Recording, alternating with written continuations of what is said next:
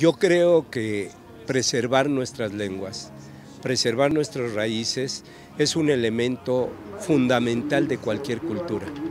Una cultura que no trae una historia, que no sabe sus orígenes, que no contempla de dónde viene y cómo se ha desarrollado, es una cultura que tiende a desaparecer.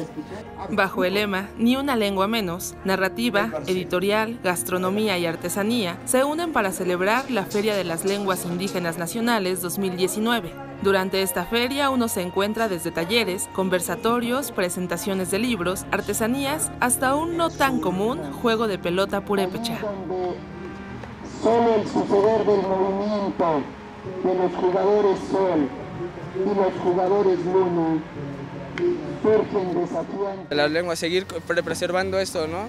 Siempre es muy importante, o sea, no tenemos así como que un problema porque no hay mucha difusión luego en, en ciertas cosas. Ahorita como está la feria, se acercan, pueden conocer un poquito más y a lo mejor ya se les pica esa duda de decir, oye, esto está aquí en mi país, ¿no? Es, es mío, es de mi cultura.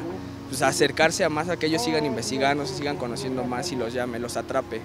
La FLIN tendrá actividades hasta el domingo 11 de agosto en el CENART y sus sedes alternas, el Museo Nacional de Arte y el Complejo Cultural de los Pinos, y son abiertas tanto al público adulto como infantil. Podemos hablar de números, investigadores comentan que en 2015 quedaban unos 199 paipais, que no se pierdan las tradiciones, que se rescate la lengua, esa es la importancia de contar esta historia y más en los niños que, tienen, es que despiertan esta imaginación, este interés por la cultura.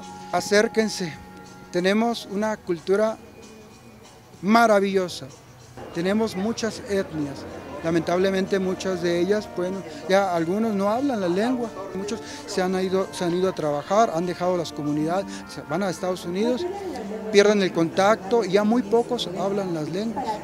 Y me remito a la importancia que don Miguel León Portilla le da justamente preservar la lengua en uno de sus poemas más hermosos, que se llama Icuatlactoli Yemiki. Icuatlactoli Yemiki, noche en noche en Tlacayol. Cuando muere una lengua, se entristece el universo, se entristece la vida misma. Cuando ve uno morir una lengua, se acaba toda la existencia misma.